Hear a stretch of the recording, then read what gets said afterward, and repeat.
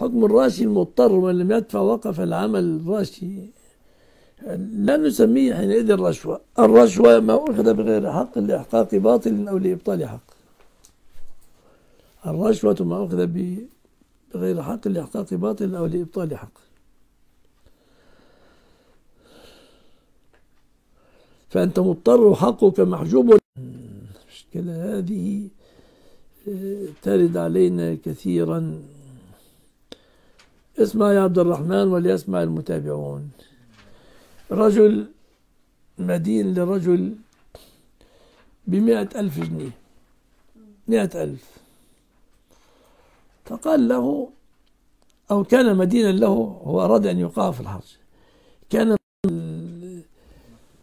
المبلغ المكتوب. فرفع عليه قضية بالوصل الذي هو 200 ألف لأنه ما معه وصل بمئة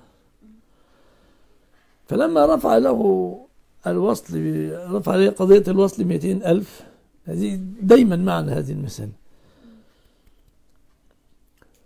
رفع عليه الوصل قال للقاضي لا أنا عليه له 200 ألف. وأقسم ما عليه له 200 ألف. وعليه في الحقيقة كم؟ فطلب لماذا؟ اليمين عرضوا الذي معه الوصل للمدين عفوا للدائن. عرضوا الدائن عرضوا الدائن لليمين.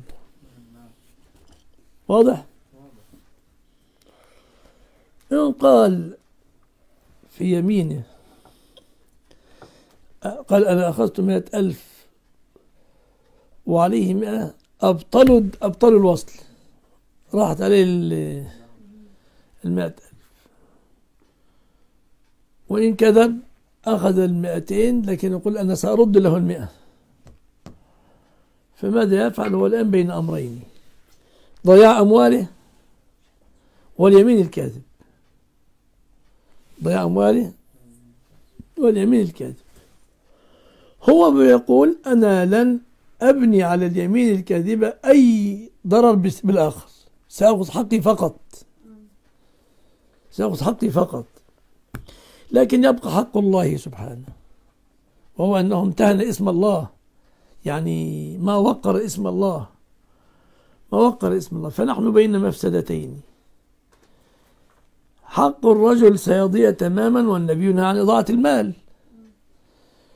وحق الله لأنك امتهنت حلفت باسمه كاذبا. فماذا نصنع؟ نحن الآن في مفسدتان. مفسدتان. واخد بالك؟ فما الحل في هذا الباب؟ ما الحل في هذا الباب؟ نقول في هذا مثل هذا الموطن والله تعالى أعلم لابد أن تقع في مفسدة. مفسدة ضياع مالك أو مفسدة وقد تكون هذه الأموال أموال أيتام أحيانا. قد تكون أموال أيتام وأنت تشغلها لهم. أو تعمل أي طريق. فأنت بين المسا في هذه الحال إن حلفت ضاع كذبت وإن وإن لم تحلف ضاع المال. فأحيانا كفتوى اجتهادية ليست فتوى آه، بالنص. النص أن نقول الحق. النص أن نقول الحق بالضبط. ما في نقاش في هذا أن نقول الحق. لكن قال الشخص أنا لا أتحمل ضياع أموال الناس التي معي سأسجن. فيأتي بعض الناس ويقول عندنا قواعد عظيمة في الشريعة. إذا سلكنا مسلك هذه القواعد في الشريعة إذا تزاحمت علينا المفاسد اخترنا أخفها. فبعضهم يقولون إذا كان المبلغ خفيفا متحملا الذي سيضيع تحمل لوجه الله ولا تذكر اسم الله في باطل أبدا. وإذا كان المبلغ فوق طاقتك وستحبس أنت ستحبس أنت إذا أنت إذا ضاع منك هذا المبلغ فستكون ضرورة. والذي أباح كلمة الكفر عند الاضطرار هو الله ومن ثم ما دون كلمة الكفر والله أعلم.